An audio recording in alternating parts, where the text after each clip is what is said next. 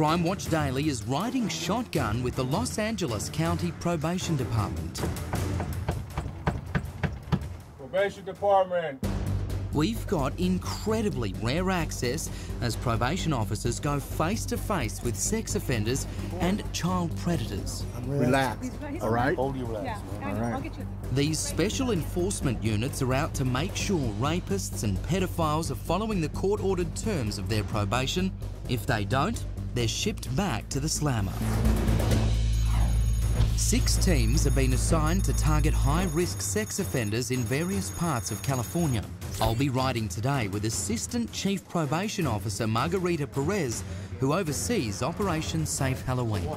We want to target um, those sex offenders that we know have committed children, uh, crimes against children, um, and we want to ensure that we do everything that we can to let them know that we're watching them. These situations can turn volatile, so myself and the camera crew must wear bulletproof vests at all times. Is that looking about right, Chief? Good, good. You look I should do, official. I should do the job. I look official. I'm just going to stay close to you today in case anything goes wrong, okay? If something goes wrong, you want to stick close to the guy with the gun. Okay, the guy with the gun. Make no mistake, today is serious business. These officers have to interact with people who don't want to go back to jail and may carry guns. If something, we're gonna use a force or a shooting, the entry team will handle, the and handle the location. Okay, nobody come in, we'll handle it, we'll put it on the radio when we can. If we have to retreat, where we, where we line up the cars, where we park, that's where we're gonna retreat to. Now, we're about to roll out with the armed unit of the LA County Probation Department for a series of early morning raids and checks. Essentially, what we'll be doing is some compliance checks on registered sex offenders here in LA County. And the target here will be making sure that they're complying with their court orders and essentially that no children are at risk. The targets this morning 60 registered sex offenders, a mixture of offences against children and adults. 5:15 a.m. A Crime Watch Daily crew is also riding with another enforcement team led by Officer Steve Howe. They are heading to Pomona, California, to check up on a sex offender they know very well.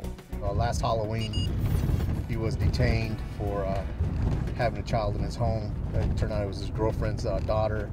Daughter was the same age as his victim was, so we took him to custody last year. We're gonna see how he's doing today. Just to clarify, out of the 1,400 registered sex offenders that you have in this county, these are the 60 that you would consider the most high risk of offending. That are, yes, that are currently under our jurisdiction. There's actually um, over 11,500 registered sex offenders within LA County alone. Our first stop is in Santa Monica. This offender has a history of offences against children, is that correct? He has a history of, uh, and has been convicted of having possession of child pornography. Um, he also has a, a, a, a prior arrests uh, for other sex-related uh, crimes, um, to include rape. Wow, so this is, a, this is a, someone who'd consider pretty dangerous, obviously. Yes.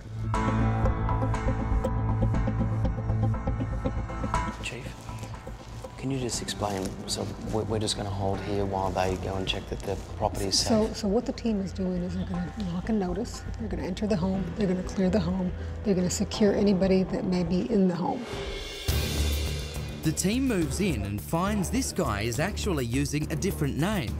That's not enough to warrant an arrest, but Officer Steve Munguia does give him a very stern warning. Okay, we're gonna put it in our system that you're, we're giving you instructions to not be using any false names. You always have to use your true name. The fact that he was maybe using a different alias or a different name for magazine subscri- subscriptions? Yeah, what, what happens with probation, uh, his assigned PO just makes contact, so they'll just come and meet and greet, talk to him. What my unit does, we come in and we actually go through everything, look at the computers, go through his personals. And this is the first time we saw an alias. It just concerns me that he may be trying to go online, maybe, under an alias name, which is maybe a concern to us, to us and to any children that might be out there. Team 2 is in Pomona, and they are just about to move in on a man who is on probation for having sex with an underage girl. That's his car at home. Probation Department, come to the door. We got contact, Hurry up, contact, hurry up, hurry up. Come on, man. Come in the door, come in the door. Go on. Step out, step out, step out, step out, step out. The team moves in and this guy is going down. First location, uh, it's not supposed to have any sexual stimulants, which is things like this. It's also not supposed to have a knife. This was concealed in his uh, in a bag. And, you know, there's no kitchen where he's at. There's no reason to have that knife. It's, it's basically used for his own protection. He's not supposed to have any type of weapon. So he'll be going to custody.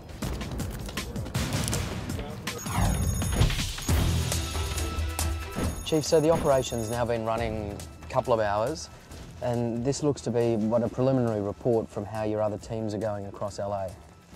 Yes, it appears that um, uh, since we started the operation at 6 a.m. this morning, we've taken uh, about 12 individuals into custody. Uh, 12? 12.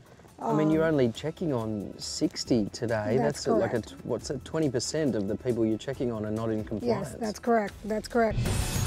Operation Safe Halloween is now heading to a neighbourhood with million dollar homes in the search for a child predator.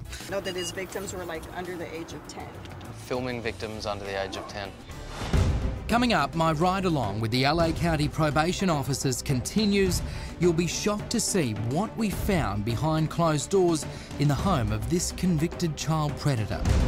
Plus, we'll show you sickening photos of another sex offender's secret hidden crawl space described by police as a sex dungeon.